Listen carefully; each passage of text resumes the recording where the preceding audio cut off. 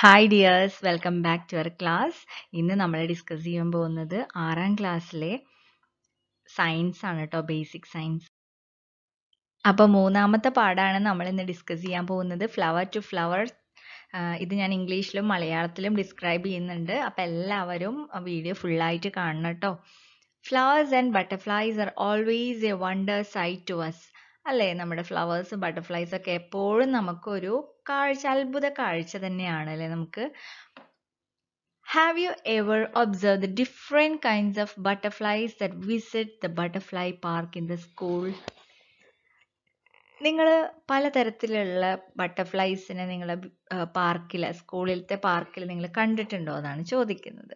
Do all the butterflies visit all the flowers എല്ലാ ബട്ടർഫ്ലൈസും എല്ലാ ഫ്ലവേഴ്സും വിസിറ്റ് ചെയ്യാ വിസിറ്റ് ചെയ്യാറുണ്ടോ?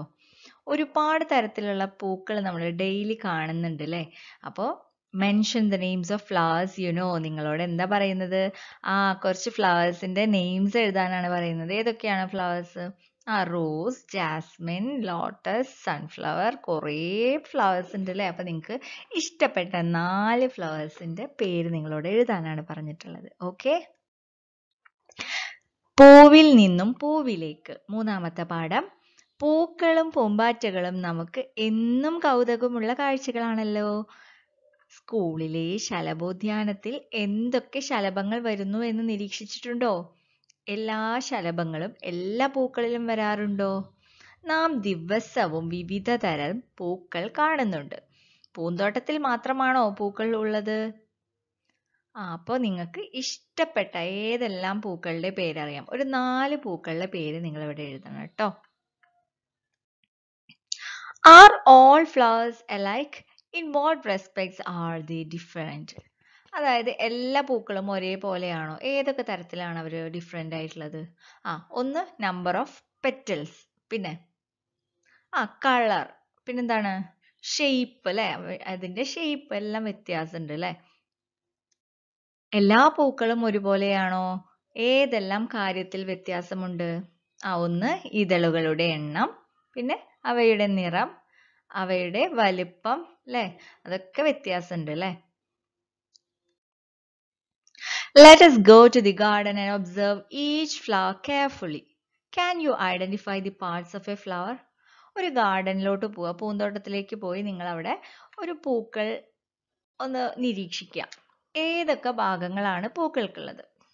Do all flowers have petals എല്ലാ ഫ്ലവേഴ്സിനും പെറ്റൽസ് ഉണ്ടോ? Which is a part that connects flower to the plant അതായത് പൂവും ഈ ചെടിയുടെ ആ ഒരു ഭാഗവും അതായത് സ്റ്റെമ്മും കൂടിയിട്ട് കണക്ട് ചെയ്യണ ഏതാണ് ഭാഗം എന്നാണ് ചോദിക്കുന്നത്. അപ്പൊ നമുക്ക് ഏതൊക്കെ ഭാഗമാണെന്ന് നോക്കിയാലോ? ആ നമുക്കൊരു പൂന്തോട്ടത്തിലേക്ക് പോകാം. ഓരോ പൂവും ശ്രദ്ധയോടെ നിരീക്ഷിക്കൂ. പൂവിന് ഏതെല്ലാം ഭാഗങ്ങളുണ്ട്? എല്ലാ പൂക്കൾക്കും ഇതളുകളുണ്ടോ? ഉണ്ടോ? നിങ്ങൾ ശ്രദ്ധിച്ചിട്ടുണ്ടോ അത്? പൂക്കളെ ചെടിയുമായി ബന്ധിപ്പിക്കുന്ന ഭാഗം ഏതാണ്? Draw any one of the flowers and label the parts you know അപ്പൊ ഏതൊക്കെയാണ് ഫ്ലവർ ഫ്ലവേഴ്സിന്റെ പാർട്സ് ആ ഒന്ന് പെഡിസൽ അല്ലെ പെഡിസൽ പെഡിസൽ എന്ന് പറഞ്ഞാൽ എന്താണ്? ഈ തണ്ടില്ലേ? അതിനാണ് പെഡിസൽ എന്ന് പറയുന്നത്. നെക്സ്റ്റ് വൺ തലാമസ് തലാമസ് എന്ന് പറഞ്ഞാൽ പൂവും ഈ തണ്ടും കൂടിയിട്ട് യോജിപ്പി കണക്ട് ചെയ്യുന്ന ആ ഒരു ഭാഗമാണ് thalamus next one calyx gynoecium corolla androecium ഇതൊക്കെയാണ് ഫ്ലവേഴ്സിന്റെ ഭാഗങ്ങൾ. ഏതെങ്കിലും ഒരു പൂവിന്റെ ചിത്രം വരച്ച് അറിയാവുന്ന ഭാഗങ്ങൾ അടയാളപ്പെടുത്തൂ. ഏതൊക്കെയാണ്?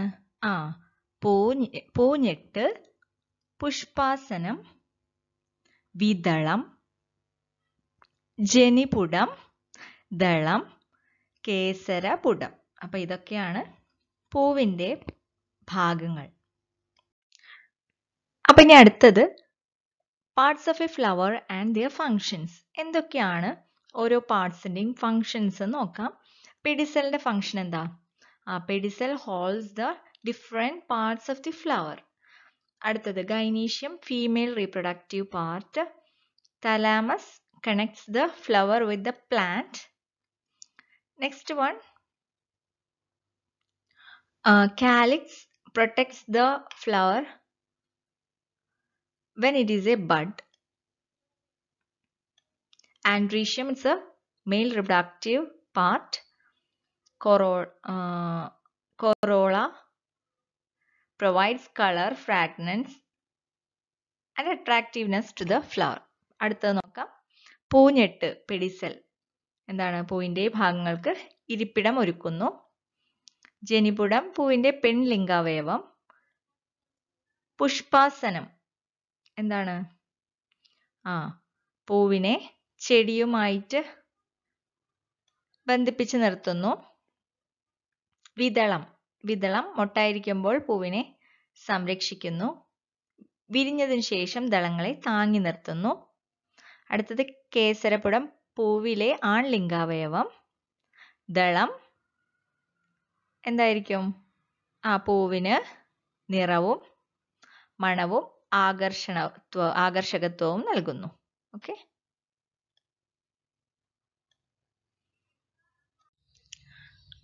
ഒരു പൂവിന്റെ നെടുകെയുള്ള ഛേദമാണ് താഴെ കൊടുത്തിരിക്കുന്നത്.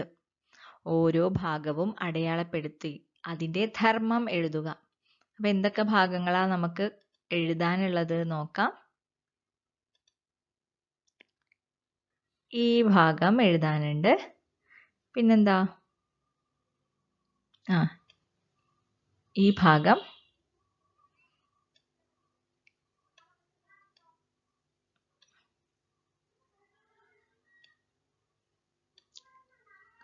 ഇനി ഏതാ? ഈ ഭാഗം കൂടി ഉണ്ട് അല്ലേ? അപ്പോൾ ഇതെല്ലാം എഴുതി ഇതിന്റെ ധർമ്മം കൂടി എഴുതണം കേട്ടോ. അതായത് നമ്മൾ നേരത്തെ ഡിസ്കസ് ചെയ്തില്ലേ? അതന്നെ. അത് ഇതിന്റെ ഇതിലാക്കിയിട്ട് എഴുതിയാൽ മതി കേട്ടോ. ഈ ഒരു കോളത്തിൽ എഴുതിയാൽ മതി. The longitudinal section of a flower is given below label each part and write its function അപ്പം ഏതൊക്കെ ആയിരിക്കും? നമുക്ക് പറയാം. ആ ഫസ്റ്റ് വൺ പിന്നെ ഇതാ.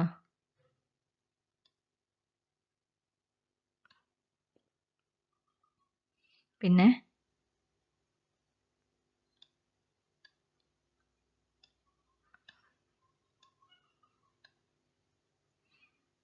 One two three four five ഇനി ഏതൊരു ഭാഗം?